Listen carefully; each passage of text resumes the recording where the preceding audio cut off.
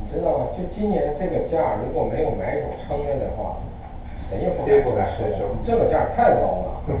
是啊 太离谱了嗯真的离谱了我呢说句心里话，我是我随我现在我东西不愁卖。因为你加工的质量好，所以你放在冷处你放心。你这样，我只要我我要缺钱了，我打算今天出你两千磅，要不要？马上就要。但是还有一个问题，要是我们下午交易的话，